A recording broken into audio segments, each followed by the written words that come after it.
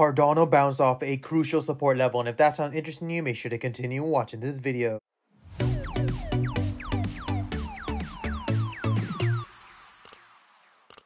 Our Telegram channel has been absolutely killing it with these trades. We have made some insane profits. So for those of you that haven't joined yet, make sure to do so if you guys are interested in keeping up with my trades as well as free education. Hey guys, Pingu Charts here. Welcome back to another Cardano analysis video. As always, if you do enjoy my content, make sure to hit that like and subscribe button. If you guys are interested in free $600 Bitcoin, make sure to check out the link in the bio. As you guys can see from yesterday's move set, we finally saw that breakdown formation on Cardano breaking below our exponential moving averages, as well as the fact that we did see a beautiful retest of our support line here at 0.3472.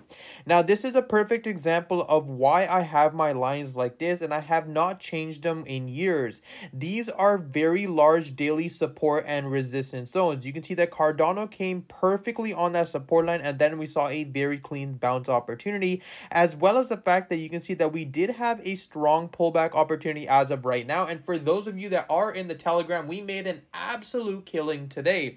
So congrats to you guys for taking my trades and following along. And of course, for those of you that haven't joined, make sure to check it out. As you guys can see on Cardano, though, right now on the four hour time frames, we are testing the exponential moving averages, but we could be looking for a nice break above and retesting our previous support at 37.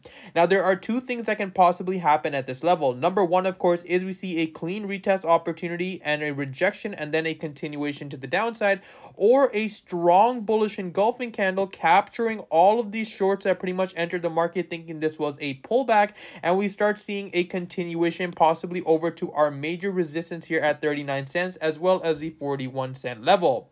Of course, the question is going to be which one is going to play out. Now, I want you guys to understand, pay very close attention to seeing the current state at 37.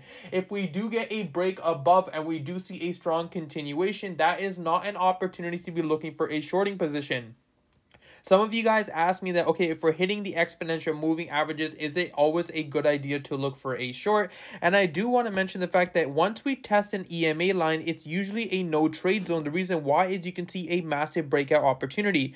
Look, for example, you can see that here on the 9 exponential for Cardano, as soon as we hit that 36 cent level, we saw a massive breakout opportunity and you don't want to get caught out into that position. If we look here overall, though, you can see that yesterday's move set played out almost perfectly. And of course, I mentioned that if we see any breakdown formation of this 34 cent support level, this would become extremely bearish. As long as we remain above this green line, we are still looking for long opportunities, as well as the fact that even on the hourly time frames, you can see that in the BART formation from yesterday played out beautifully.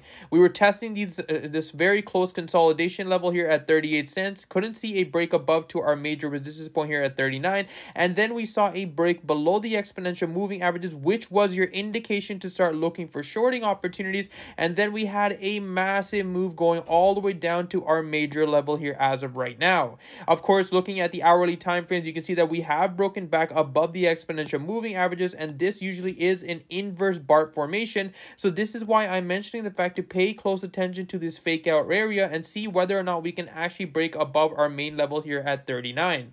Now, yesterday I did mention the fact that Cardano will be looking to test our 9 exponential moving average on the daily time frame. You can see that we did actually break below the 9 as well as retesting that major support, but we are still extremely overbought on Cardano. This is one of those coins that have seen such a large pump opportunity that I mentioned is going to be very dangerous looking for long-term long positions because we are still waiting for a larger pullback opportunity. In my opinion, I think the bullish case, of course, will be ending somewhere around this 44 cent level because of the fact that's pretty much where the move set started. So pay very close attention to this very large V-shaped formation that is looking to play out. And once we hit that level, and if we do see a clean rejection, that could be life opportunity for you guys to obviously make a ton of money. But that's pretty much all I have for you guys today. As always, if you do enjoy my content, make sure to hit that like and subscribe button. If you guys are interested in free $600 Bitcoin, make sure to check out the link in the bio. And I hope you guys have a wonderful day.